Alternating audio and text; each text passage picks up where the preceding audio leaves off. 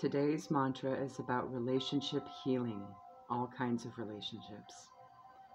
I manifest the healing of this relationship. This connection is healed in the highest good for all involved.